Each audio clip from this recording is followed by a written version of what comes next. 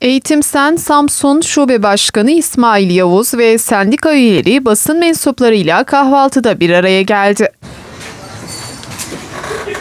Eğitim öğretimdeki sorunlarla ilgili açıklamalarda bulunan Yavuz, öğretmenlik mesleğinin de itibarsızlaştırıldığını öne sürdü.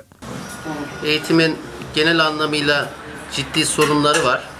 2015-2016 eğitim öğretim yılı da bu sorunlarla beraber e, başladı.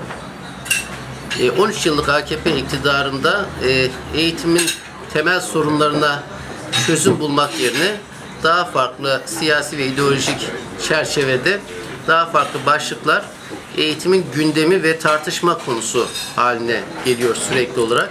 E, öğretmenlik mesleği gün geçtikçe itibarsızlaştırılmaktadır.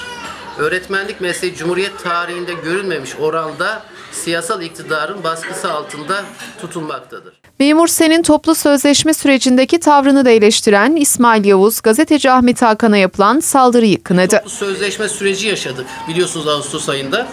Ee, geçen gün televizyon programında da değerlendirdiğimizde e, yetkili sendika Konfederasyon Samsun temsilcisiyle kendileri açısından toplu sözleşme sürecini bir başarı olarak sundular. Biz ise itiraz ettik. Çünkü 2016 ve 2017 e, yılları içerisinde hükümetin önerdiği rakam yüzde 6 artı yüzde 5, 2017 rakamı ise yüzde 3 artı 4. Tabii ki e, arkadaşlarımız toplu sözleşmenin uzun uzun metni, bakanlıkla kayıt altına aldıkları metni göstererek bize şunu dediler. İşte bunların hepsi birer kazanım. Aslında Türkiye'de kamu çalışanları açısından üçüncü dönem bir toplu sözleşme yaşandı. Üçüncü dönemiydi bu toplu sözleşmenin. İkinci dönemdeki toplu sözleşme metninin imza altına alınan resmi kaydıyla üçüncü dönem toplu sözleşme metninin imza altına alınan kaydı arasında birebir paralellik var. Ve basına yönelik de ciddi anlamda baskılar var. En son bu baskıları e, Ahmet Hakan'a yöneldi ve Ahmet Hakan darp edildi.